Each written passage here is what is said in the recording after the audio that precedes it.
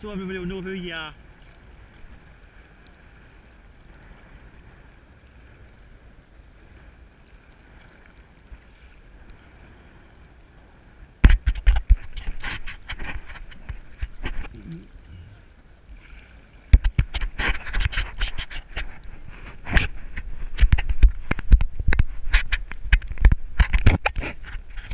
No.